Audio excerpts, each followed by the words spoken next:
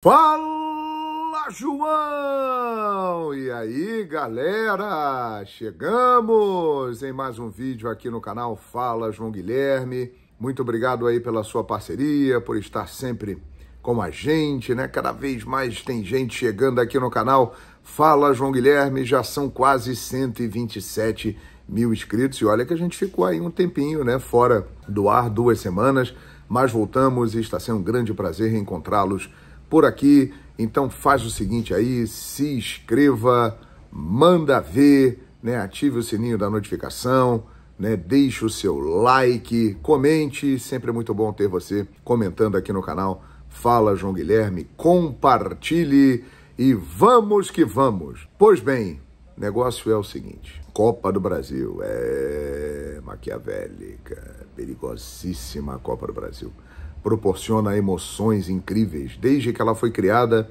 em 1989 e o Grêmio foi o seu primeiro campeão numa final com o esporte. É uma competição que é marcada pela emoção e também por surpresas, né? Vale lembrar que já tivemos times aí que não eram muito cotados como campeões da Copa do Brasil, Santo André, Criciúma, Paulista de Jundiaí e outros exemplos. A partir de 2013, a Copa do Brasil mudou um pouco porque os times que estão na Libertadores da América entram em uma determinada fase. Isso não acontecia até o ano de 2013.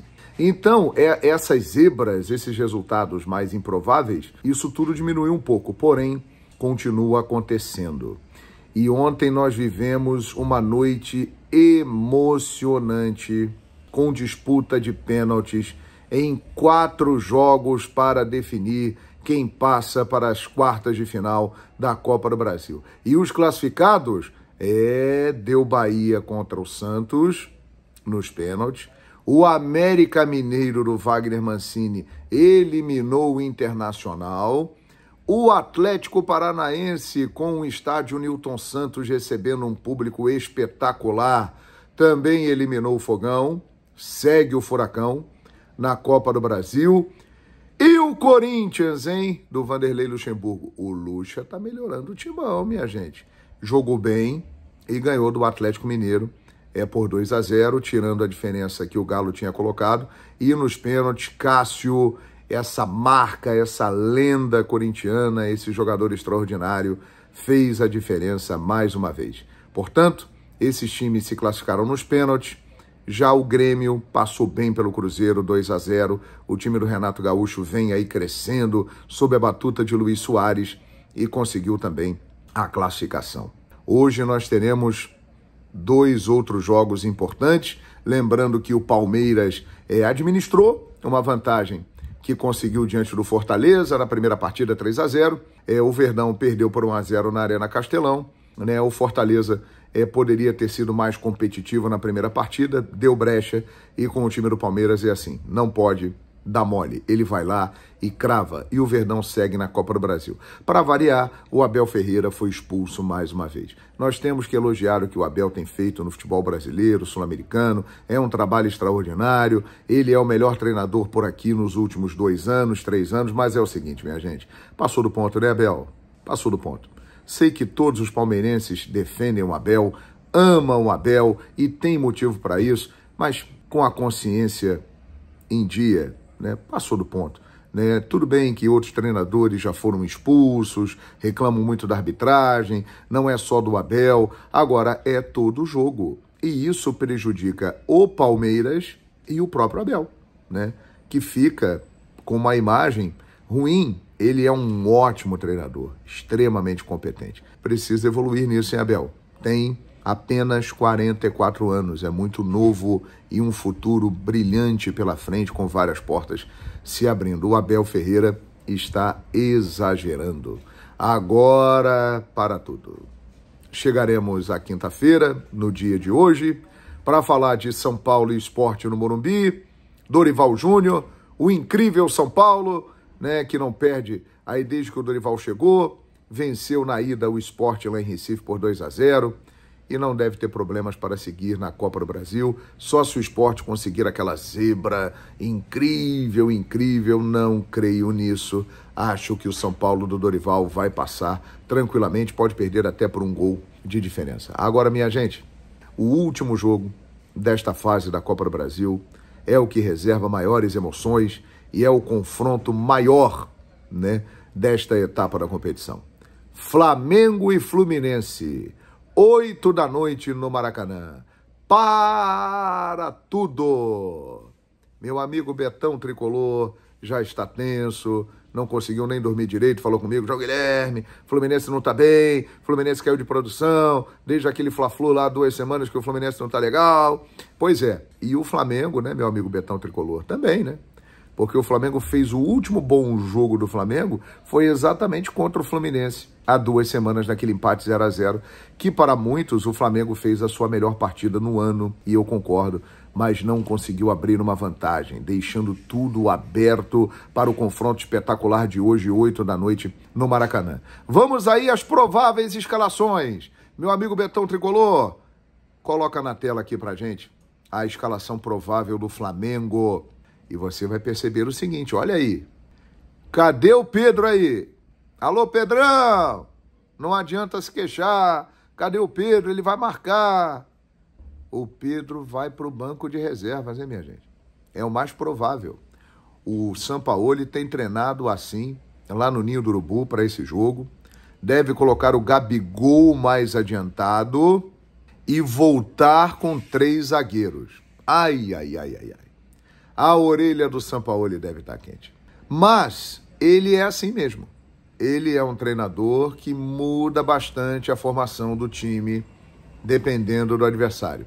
E ele considera que para encarar o Fluminense é importante ter ali uma trinca de zagueiros. E você está vendo aí, ele deve fazer isso, recolocando o Davi Luiz no time principal, com Fabrício Bruno, Léo Pereira e contando com Wesley e o Ayrton Lucas ali pelos lados. Thiago Maia, Pulgar, Gerson, Arrascaeta, que é uma grande notícia para a nação rubro-negra, deve começar jogando e o Gabigol mais avançado. Isso aí é o mais provável Flamengo. Vamos confirmar uma hora antes, por volta de sete da noite, no Maracanã. E o Fluminense, hein? Olha, o Fluminense nos últimos quatro jogos ele perdeu e não fez gol. Chama atenção esse momento da equipe do Fluminense. Vem aí de quatro jogos sem fazer gols. Uma equipe com um potencial ofensivo muito grande, né? um time que estava encantando até determinado momento nessa temporada, mas parece que os adversários estão encontrando fórmulas para bloquear o Fluminense do Fernando Diniz, que terá problemas para o jogo de hoje, né? não contará aí mais uma vez com o Alexander, que aliás, coincidência ou não, depois que saiu do time do Fluminense, a equipe caiu de produção. O Keno também está de fora. O Felipe Melo foi expulso naquele primeiro Fla-Flu, né, na entrada que deu no Gabigol. Não poderá contar é, também com o Thiago Santos e o Lele, que já jogaram a competição por outras equipes. Então o Fluminense tem vários problemas, mas pode ter aí uma boa notícia, que é a volta do Marcelo. O Marcelo pode voltar a jogar. Ele também que participou do Fla-Flu, né, e acabou se machucando, saiu ainda no primeiro tempo, mas é uma volta decisiva nesse confronto espetacular de hoje no Maracanã.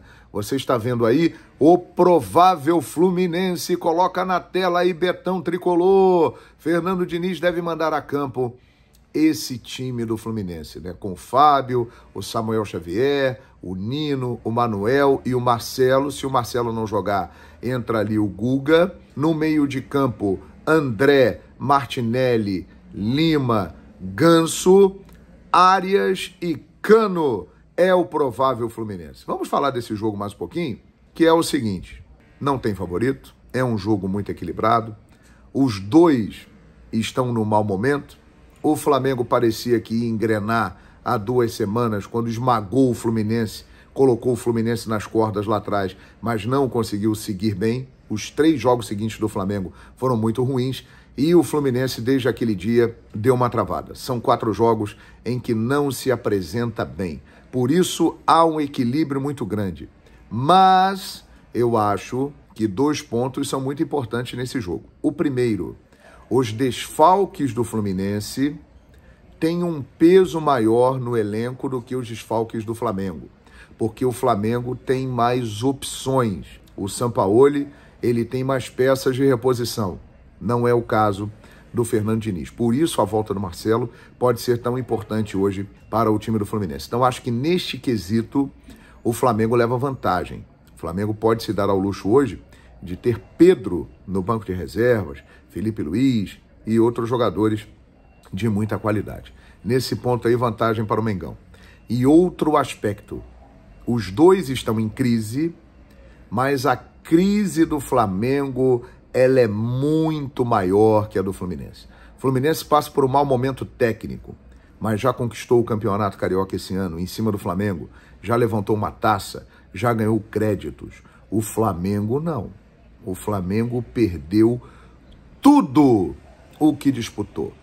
E na última semana saíram informações da imprensa de desentendimentos no vestiário. Um grupo está com o Davi Luiz, o outro com o Gabigol.